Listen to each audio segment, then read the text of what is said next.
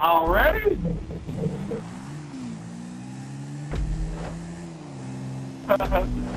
Sit down.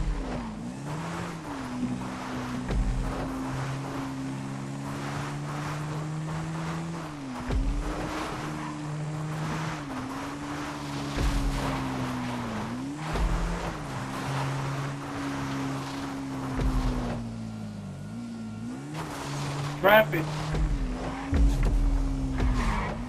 Shit!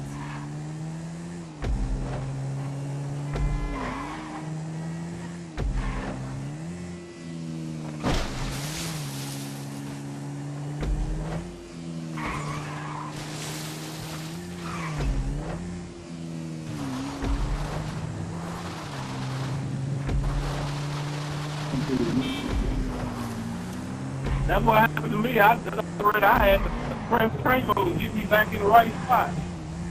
Because I was trapped behind the fence.